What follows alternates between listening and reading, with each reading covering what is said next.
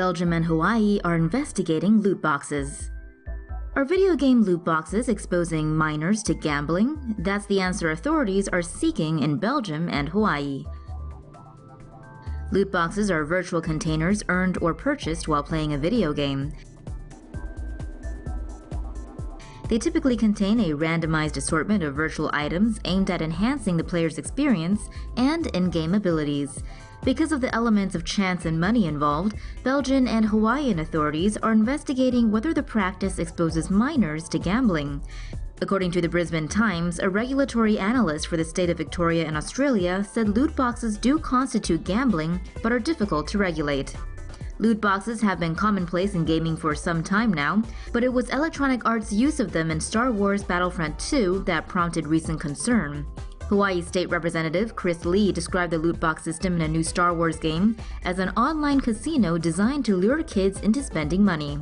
Lee reckons publisher Electronic Arts employed predatory practices against children with their controversial loot box system in the game Star Wars Battlefront 2.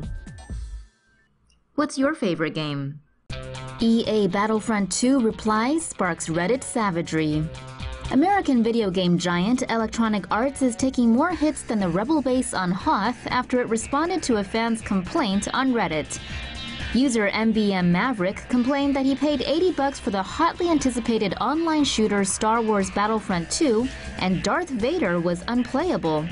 EA said their intent was to provide games with a sense of pride and accomplishment for unlocking different heroes. That official response sparked what might be one of the most downvoted Reddit comments in history, with 67,000 downvotes and rising.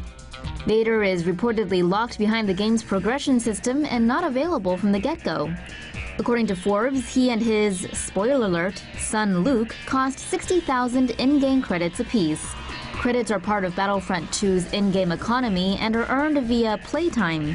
Forbes reports that 11 minutes of playtime equates to around 275 credits. Some Reddit users estimated it could take up to 40 hours of playtime to get Vader and another 40 hours to get Luke. Those combined 80 hours equate to nearly half a week. Loot boxes can also reportedly be bought with crystals, and those crystals cost real world dollars. And that's after you put down 60 or 80 bucks for the game. But hey, it's only EA. What more could possibly go wrong? World's hottest PC game to get locked out of China. Player Unknown's Battlegrounds may be a smash hit everywhere in the world, but leave it to China to take aim at the survival video game's violent content. Gameplay in Battlegrounds is Hunger Game style. It starts with players parachuting into a desert island, scavenging for all sorts of weapons, and then fighting each other to the death. Last man standing wins. Despite not yet officially launching in China, the game already has a sizable chunk of Chinese players. But with regulators complaining of too much blood and gore, it looks like Battlegrounds won't be getting a license anytime soon. If it does, expect it to be heavily cut and censored to fit socialist core values and traditional Chinese culture. Hmm, fun.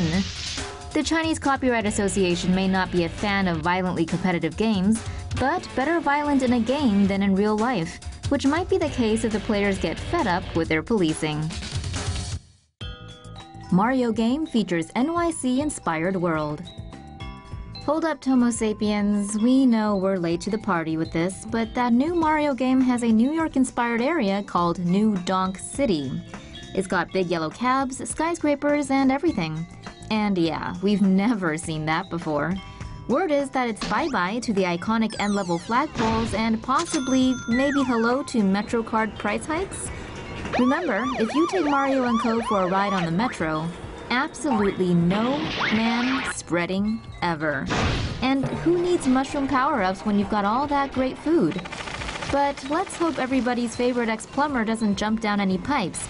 Big Apple roaches take no prisoners.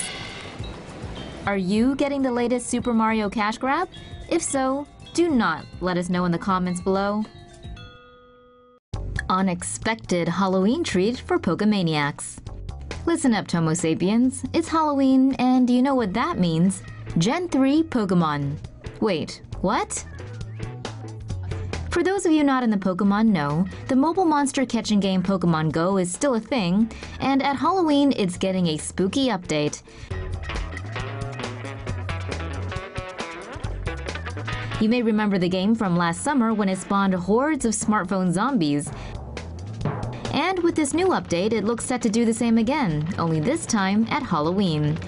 And what does said update contain? Reportedly, more Pokemon than you can throw a Pokeball at.